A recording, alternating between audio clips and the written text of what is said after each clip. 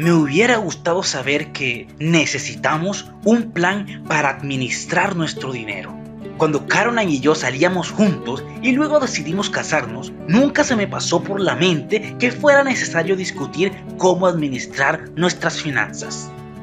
Ninguno de los dos tenía dinero. Después de todo, los dos estábamos recién licenciados. Durante la universidad vivíamos en la residencia de estudiantes. Nunca había alquilado un apartamento ni pagado una factura eléctrica. Nunca había tenido que pagar el préstamo de un coche y casi ni había comprado ropa. Tenía un trabajo a tiempo parcial para cubrir los gastos universitarios. Después del primer año, mis padres tuvieron la amabilidad de regalarme un auto y pagar el seguro. La ropa que llevaba puesta eran regalos de mi familia dados en Navidad o en mi cumpleaños. La experiencia de Caroline era similar, excepto que antes de ir a la universidad, ella había trabajado jornada completa, tenía su propio apartamento y había pagado facturas. El único plan financiero que teníamos era que ella trabajara a tiempo completo, mientras yo me dedicaba a mis estudios. Ese plan duró dos meses. El trabajo de Caroline le exigía comenzar a las 5 y media de la mañana. Ella no es una persona mañanera. Su salud fue decayendo y ambos coincidimos en que el plan no funcionaba decidimos buscar los dos un trabajo a tiempo parcial por las tardes. A ella la contrató bastante rápido uno de mis profesores de la universidad y yo encontré trabajo en el banco local. Ninguno de los dos ganaba demasiado, pero era suficiente para pagar el alquiler de un apartamento para estudiantes, para las necesidades pequeñas, el combustible del auto y poner comida en la mesa. Ninguno de los dos compró ropa en tres años. Cuando terminé los estudios y comencé a trabajar a tiempo completo, teníamos ahorrado solo 150 dólares. En aquel tiempo no teníamos problemas de dinero porque no teníamos dinero. Cuando una pareja está de acuerdo en sacrificarse temporalmente para alcanzar un objetivo marcado, en nuestro caso la escuela de posgrado, y mientras se tenga dinero suficiente para pagar las necesidades básicas, no es muy probable que surjan problemas maritales por culpa del dinero. Nuestros problemas comenzaron justo cuando empezamos a ganar dinero. Nunca habíamos hablado de un plan para administrar nuestro dinero. Tras tres años de sacrificios, a ambos nos encantaba la idea de poder gastar. Sin embargo, teníamos ideas diferentes sobre qué y cuándo comprar. Sin un plan en perspectiva, las finanzas se convirtieron, como le ocurre a muchas parejas, en un campo de batalla. No lo voy a aburrir con batallitas específicas. Lo que quiero decir es que si hubiéramos elaborado un plan antes de casarnos, nos habríamos ahorrado muchas peleas inútiles. En el resto del capítulo les explicaré un plan de administración económica simple que ha ayudado a cientos de personas a evitar guerras financieras. Empecemos desde el principio. La primera piedra fundacional para elaborar un plan financiero es acordar que después de casarse ya no existirá mi dinero, y tu dinero porque será nuestro dinero. El punto central del matrimonio es el deseo de formar una unidad. En lo bueno y en lo malo tratamos de vivir la vida juntos. Esto implica que compartiremos nuestros ingresos y trabajaremos en equipo para decidir qué hacemos con nuestro dinero. El efecto secundario de esto es que sus deudas y mis deudas ahora serán nuestras deudas y tendremos la responsabilidad de elaborar un plan para pagarlas también implica que sus ahorros y mis ahorros ahora serán nuestros ahorros. Si no está preparado para esa clase de unidad, no está listo para el matrimonio. El segundo paso para elaborar un plan financiero es ponerse de acuerdo en el porcentaje que se ahorrará, se dará o se gastará. Esencialmente, solo se pueden hacer tres cosas con el dinero. Ahorrarlo, darlo o gastarlo. Decidir la cantidad que se asignará a cada una de estas características es un paso importante en un plan financiero. A través de los años, he animado a las parejas a adoptar un plan 10, 10, 80. Ahorrar es invertir el 10% de los ingresos netos. El principal propósito de los ahorros es tener un fondo de emergencia para casos de enfermedad o pérdida de trabajo. El segundo propósito es ahorrar para pagar las tarjetas de crédito y las deudas que ambos puedan tener. El tercer propósito de ahorrar es el de hacer compras más importantes como una casa o un auto. El otro 10% es para dar. El propósito de dar es expresar gratitud por lo que uno ha recibido. La antigua tradición judía y cristiana anima a dar el 10% de lo que uno gana. La persona más feliz del mundo no es aquella que tiene más dinero, sino la que ha aprendido lo satisfactorio que resulta ayudar a otros. Un antiguo texto cristiano dice, más bienaventurado es dar que recibir.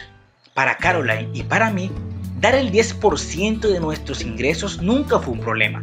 A los dos nos habían enseñado nuestros padres este principio y lo habíamos practicado individualmente. Así que estuvimos de acuerdo en que sería el patrón a seguir. Ninguno de los dos ha lamentado nunca tal decisión. Sin embargo, si este concepto es nuevo para alguno de ustedes, será necesario negociar y llegar a un punto de encuentro sobre él. Si no se ponen de acuerdo en el 10%, ¿qué porcentaje estaría dispuesto a dar? El porcentaje de negociación y acuerdo antes de casarse les ahorrará muchos problemas con este tema en el matrimonio.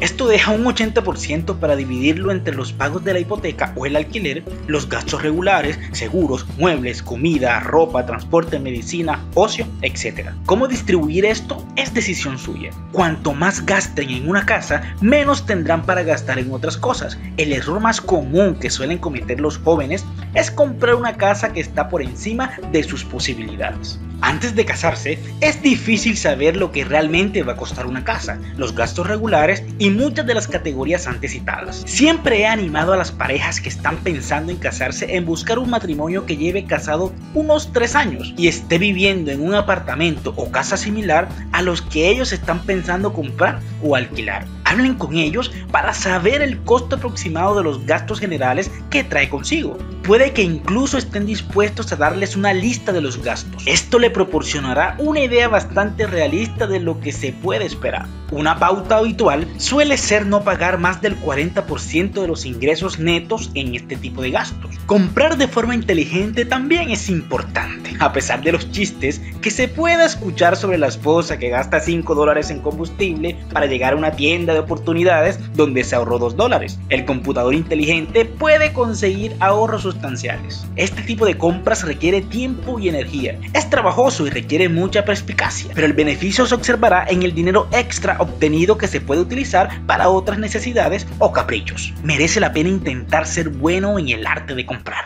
Otro asunto muy importante que las parejas tienen que discutir es el comprar a crédito. Si tuviera una bandera roja, la estaría agitando en este momento. Los medios de comunicación nos bombardean desde todas las esquinas. Compre hoy, para más tarde. Lo que no dicen es que si compramos ahora sin pagar al contado, más adelante pagaremos mucho más. Los intereses varían mucho de un banco a otro puede estar entre el 18 y el 21%. Las parejas deben leer la letra pequeña. El crédito es un privilegio por el cual hay que pagar y el costo no es lo mismo en todos los planes. Un principio simple para tener como guía es el que si se tiene una tarjeta de crédito hay que utilizarla solo para emergencias, tratamientos médicos y necesidades, reparaciones del auto, electrodomésticos importantes, pues pague lo antes posible. Nunca utilice la tarjeta de crédito para cosas no esenciales. Para eso mejor ahorre y pague al contado. Algunos consejeros financieros sugieren a las parejas no tener tarjetas de crédito. Sin embargo, si no tiene un historial de créditos,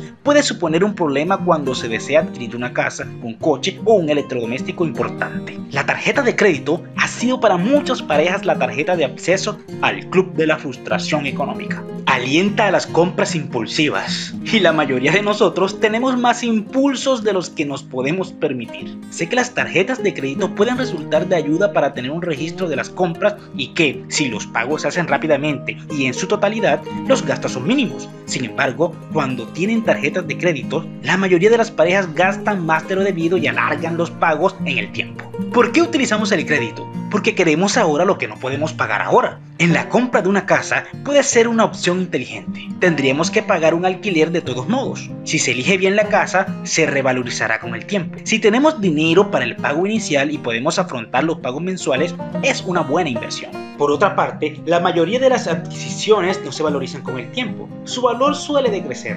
Empieza a hacerlo el mismo día que realizamos la compra. Compramos las cosas antes de poder permitírnoslas. Pagamos el precio más los intereses del crédito, cuando el valor de nuestra compra va depreciándose día a día. Sé que hay ciertas necesidades, entre comillas, en nuestra sociedad, pero ¿por qué una pareja joven cree que debe obtener el primer año de casados lo que a sus padres les llevó 30 años en conseguir? ¿Por qué necesitan lo más grande y lo mejor en este momento?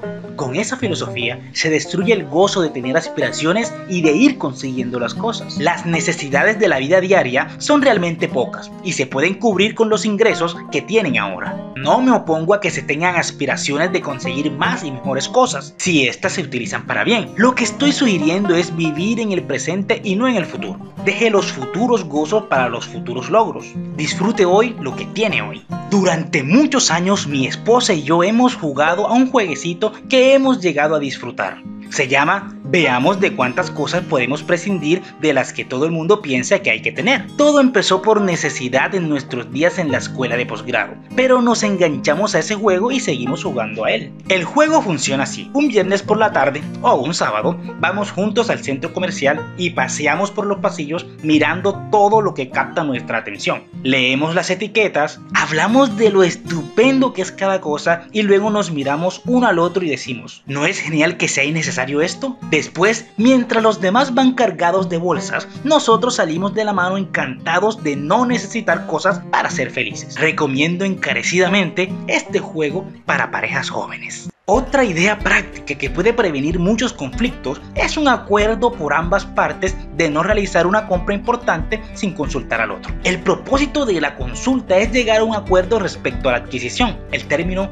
compra importante debe tener un equivalente monetario. Por ejemplo, una pareja puede acordar que nunca comprarán nada que supere los 100 dólares sin consultar al otro. Es verdad que muchos de los palos de golf y muchas lámparas estarían todavía en el escaparate si las parejas hubieran seguido este principio. Y también es cierto que serían ahora mucho más felices. La última sugerencia que me gustaría hacer a este respecto es que deben decidir antes de casarse quién se ocupará de la contabilidad. El que lleve la contabilidad será el que se encargue de pagar las facturas mensuales y el que realizará el seguimiento de las cuentas en línea. Será quien se encargue de que ninguno se salga del plan de gastos que ambos han acordado previamente. Esto no significa que esa persona tenga que tomar las decisiones financieras. Esas decisiones se toman en conjunto. No siempre tiene que ser el mismo quien lleva las cuentas. Por una u otra razón, se puede decidir tras seis meses que es mejor que la otra persona se encargue de la contabilidad. Cuando una pareja habla sobre detalles financieros, suele resultar obvio quién está más preparado para estos temas. Sin embargo, asegúrense de que aquel que no se encargue de la contabilidad sepa cómo hacerlo y entienda perfectamente todo lo referente a la economía y a las cuentas bancarias. Recuerde que forman un equipo y ambos deben ser plenamente conscientes de los detalles financieros. Es mi deseo que las ideas que he expuesto en este capítulo les sean de ayuda para que ambos discutan sobre el tema y lleguen a un acuerdo sobre el plan financiero a seguir una vez casados. Ojalá alguien me hubiera dicho que necesitábamos un plan financiero antes de casarnos. Creo que hubiera seguido el consejo. Hola, gracias por escuchar el video. Si has llegado hasta aquí, suscríbete a este canal y deja tu like, así nos apoyarás.